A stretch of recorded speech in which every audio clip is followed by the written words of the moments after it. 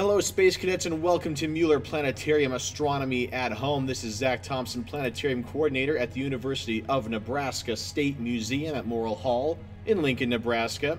Wishing you all clear skies. Today, we are going to be exploring some of the wonderful spring constellations that the season has to offer. And to do that, we're going to be using our friend Stellarium. Look to the right of your screen for the web address stellarium.org where our Star Buddies are holding it up. You can download the desktop or computer version for free at home and follow along with us, or use it however you like to get you ready for the evening skies. Let's make things go nice and full screen for us so we get a better view, and we're going to begin here facing to the north just to the north when it gets dark out. So we're going to actually take us to right about 9:30 or so. That's a good generic kind of time for us. And to really explore the spring skies, it's a good idea to do something called star hopping. And that's where we take a group of stars that we might already know and use it to find other stars or other constellations in the sky. So follow me. Here's the pointer, the mouse up here in the sky, and follow me to find the Big Dipper. The Big Dipper over here to the north. It's upside down and it's made of seven stars. One, two, three, four, five, six, and seven. So if you use your imagination, imagine a big spoon dumping its water out into the sky. So in this kind of season, you can see it high up overhead, but upside down. Now, the Big Dipper is actually not a constellation. It is a pattern within a pattern. And this is the official constellation Ursa Major. So as a bit of trivia for you, the Big Dipper is not a constellation, but it's called an asterism. And again, it's just a picture in a picture. We see the Big Dipper more easily than we do the official constellation, the Big Bear. Greek for the Big Bear. And here's one way to imagine it. Notice that there are other stars besides the Big Dipper, but they are fainter, so you need clear, dark skies in order to see them. But otherwise, even with a little bit of light pollution in or around Lincoln, for example, you should still be able to make out the Big Dipper. But always remember, it's part of the Big Bear. And that's where we're going to start here for our video. We are going to actually start to the north, and when you see the Big Dipper, look here towards the handle, and you see this arcing kind of way that it moves, this arcing tail or this arcing handle of the spoon. As I move our sky here to face us more towards the east, let's follow that arc. It arcs to a bright star called Arcturus. And Arcturus is one of the brightest stars in the spring sky. It's a great orange yellow colored star, which you can really see again with clear dark conditions. You again arc to Arcturus. When you find this star, you'll realize that it's actually part of another constellation. If you use your imagination, called Boötes. Boötes the herdsman. Now, if you look at this just straight on, it might appear like a boot or a sock. So you put it on this way, and then Arcturus is the toe. But now tilt your heads to the left a little bit, and maybe you'll see a kite, and there's an invisible cosmic string holding that kite in the sky. Another way to imagine it, though, particularly from ancient Greece, is this way a herdsman, a whole person, which does take some imagination in order to see it well enough. And if you can see it, great, but if not, that's perfectly fine. Remember to make the stars your own. And if you don't even see this, at least following the Big Bear or the Big Dipper, you should still be able to arc to Arcturus, a very prominent point in the sky. As you see here, as a herdsman or sometimes a farmer, Boötes is, is holding a scythe in his hand. And actually, in some mythologies or other cultures, it was believed that the Big Dipper itself was the scythe or a plow in the sky. So there's a connection there. That's one reason why it was thought that they were close to each other in the sky. Arc to Arcturus one more time. Let's hide our constellations there, but they'll be back.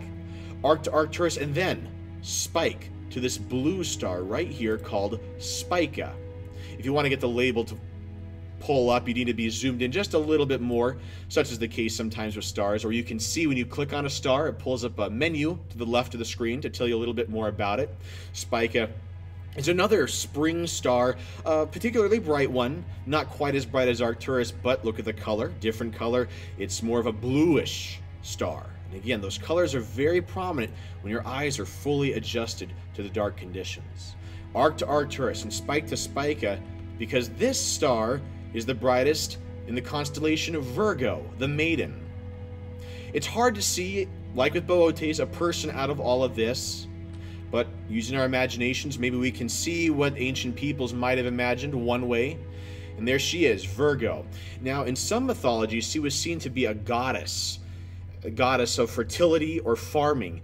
If we look closely, in her hand, where Spica is, the bright star, that's a spike of wheat or maybe an ear of corn, and here's another stalk in her other hand.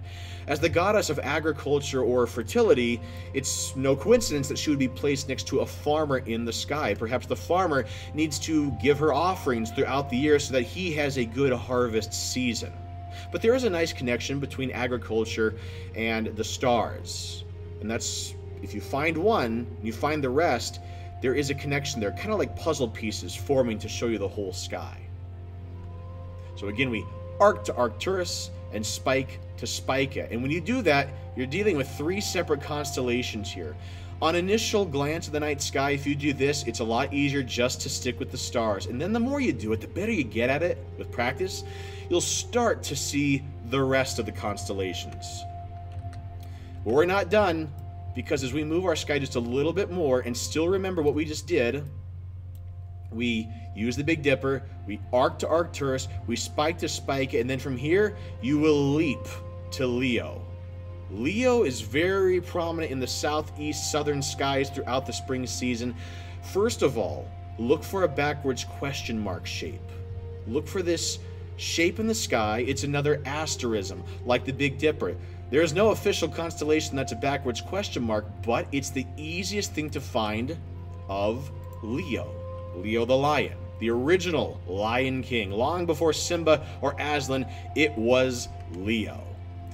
So again, the backwards question mark is the easiest portion to see. It's the lion's head, mane, and chest. The bright star here is Regulus. And then if you follow down, here's the tail, and then either the lion is laying down or pouncing in the sky. This is the traditional way to imagine the pattern of Leo, and if we just isolate them there for you just to kind of really draw your attention more. Other times, I've had guests tell me that it looks like a mouse sometimes. It just all depends on how you're viewing this. But whatever you see, it's important to make the stars meaningful to you. Do they look like something familiar to you? If you connect the dots, and that's all this really is a cosmic game of collect the dots, what do you see?